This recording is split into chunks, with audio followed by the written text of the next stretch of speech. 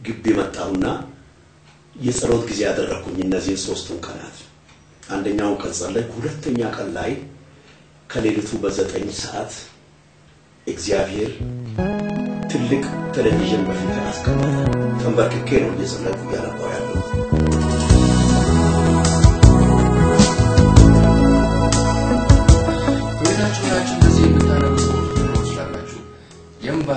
መልስ እግዚአብሔር ተናግሯል። መልሱም የከፍታ ዘመን ለኢትዮጵያ በሚሉ ውብ ሀረጋትና ፊደላት ውስጥ ይገኛል።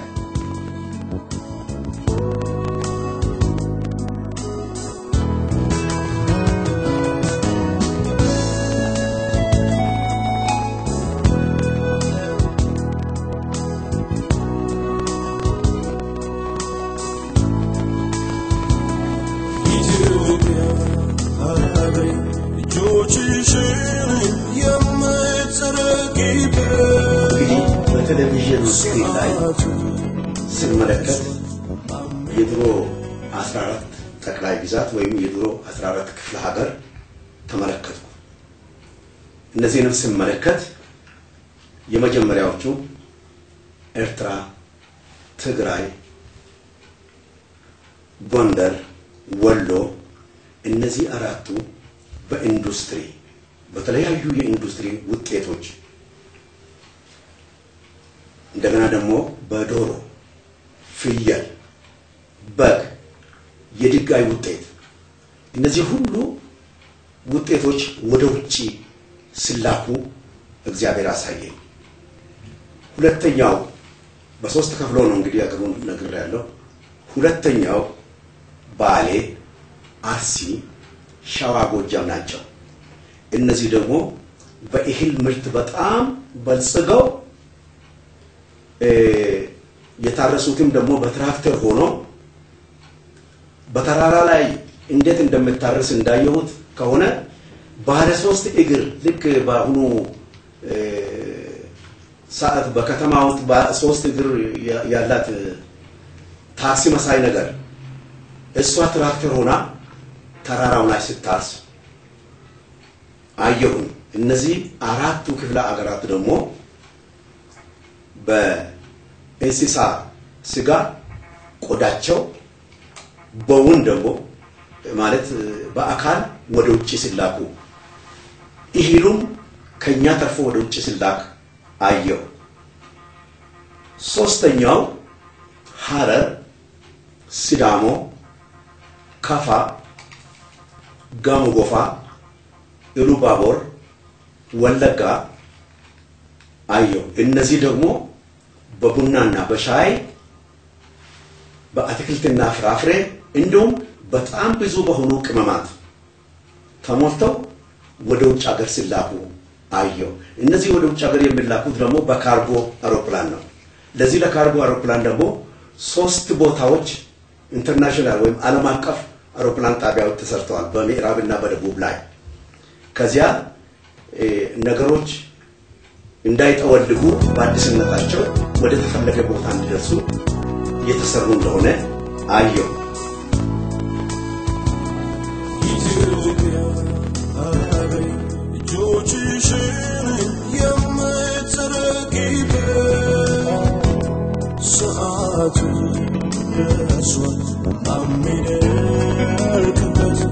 ካፈር ከዚያ በኋላ ለኢትዮጵያ ኢኮኖሚ መሰረት የሚሆኑትን ነገሮች እግዚአብሔር በዝርዝር አስቀምጦ አሳየኝ። አንደኛው ማዕድን ነበር። ማዕድን በኢትዮጵያ ላይ እጅግ በጣም ብዙ ነው። ተቆፍሮ እስካሁን አልታየም ለማለት ይቻላል እና በቦረና፣ በባሌ፣ ሰሜን ሸዋ፣ ሰሜን ወሎ እና አፋር ላይ ድንቅ በሆነ ሁኔታ አስራ ስምንት አይነት ውድ ድንጋዮችን ያሳየኛል። እነዚህ ከወርቅ የበለጡ እንጂ ያነሱ አይደሉም። ከዚያ ቀጥሎ ደግሞ ሌላ የሚያሳየኝ ነዳጅ ነው። ነዳጅ በኢትዮጵያ ከሶስት ነገር ከሶስት ቦታ ሲፈልቅ ነው ያሳየኝ። አንደኛ ባሮ አኮቦ፣ ሁለተኛ ስምጥ ሸለቆ፣ ሶስተኛ ሶማሌ። ከዚህ በፊት ሶማሌ ላይ ነዳጅ አይገኝም ሲሉ ነበር። አሁን ግን ነዳጅ እንደሚገኝ እግዚአብሔር አሳየኝ። ከዚህ ነዳጅ የተነሳ ድህነታችን እየተቀረፈ የዓለም ኬሻ ወደ እኛ መላክ ወይም ደግሞ ስንዴ ወደ እኛ መላክ የቀረ መሆኑን በውስጤ እየተገነዘብኩ ውስጤ በደስታ ተሞላ። እንግዲህ ከዚህ ነዳጅ የተነሳ ብዙ ሀብት ኢትዮጵያ እንደምታገኝ አየው። ከዚያ በኋላ ደግሞ ፓርኮችን አየው። እነዚህ ፓርኮች ለማየት የውጭ ሀገር ዜጎች ከብዛታቸው የተነሳ ሆቴሎች አይበቋቸው። ነገር ግን በድንኳን ነው የሚሆኑት። ከዚህ ከቱሪስት ብዛት የተነሳ ደግሞ ብዙ ገንዘብ እናገኛለን፣ ብዙ ሀብት እናገኛለን። ሌላ አዲስ መንገድ ደግሞ ከቱሪስት የተነሳ ይሰራል። ይህም መንገድ ከዝዋይ እስከ ሩዶልፍ የሚደርስ ነው። ምን ማለት ነው? ከጀልባ ወደ መኪና፣ ከመኪና ወደ ጀልባ እንደዚህ እያለ እስከ ሩዶልፍ ድረስ ይሄዳል። ይህ ትልቁ መንገድ ዓለም አቀፍ ፓርክ ያለበት አካባቢ ይሆንና ኢትዮጵያን፣ ታንዛኒያን እና ኬንያን በቀጥታ በቱሪስት እድገት ያሳያል። ቀጥሎ ቱሪስቶቹ ወደዚህ ሀገር ሲመጡና ሲበዙ ምን እንደሚሆን ልናገር ይፈልጋለሁ። እነዚህ እጅግ በጣም ሲበዙ ከምስራቅ፣ ከምዕራብ፣ ከሰሜን፣ ከደቡብ ስለሚመጡ እዚህ በመቆየታቸው ፍቅር ይጀምራል፣ ጋብቻ ይጀምራል።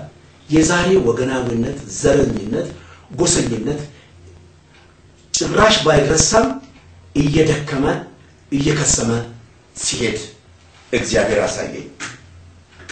ከሱ ቀጥሎ መብራት ኃይል ነው። መብራት ኃይል ከሶስት ነገር ይመነጫል በኢትዮጵያ ከፀሐይ፣ ከውሃ እና ከንፋስ። እነዚህ ሶስቱ ተጠራቅመው ከኛ አልፈው ወደ ጎረቤት ሀገሮች ሄደው ብዙ ገቢ ያመጡልናል። በኢትዮጵያ ደግሞ ሶስት ቤት እስከ ቆመች ድረስ መብራት ኃይል ይሄዳል ማለት እያንዳንዱ ኢትዮጵያዊ መብራት ኃይል የማግኘት እድል አለው ማለት ነው። ከዚህ ከረጅም ጊዜ በኋላ ከዚያ ቀጥሎ ከመብራት ኃይል ጋር የስልክ መስመር አለ። ይሄ የስልክ መስመር ግን እንዲህ በሽቦ ላይ የሚሄድ የስልክ መስመር ሳይሆን አሁን አሁን እንደመጣ ዋየርለስ እንደምንለው ያለ ሽቦ የሚገባ ነው እና ገበሬዎች በየቤታቸው የነት ስልክ አላቸው። ልክ ልጆቻቸው ሲደውሉላቸው ከየትም የጭቃ እጃቸውን እንዲህ ሱሪያቸው ላይ እየጠረጉ እየሮጡ መጥተው ስልኩን አንስተው ልጆቻቸውን ሲጠይቁ ያሳየኛል።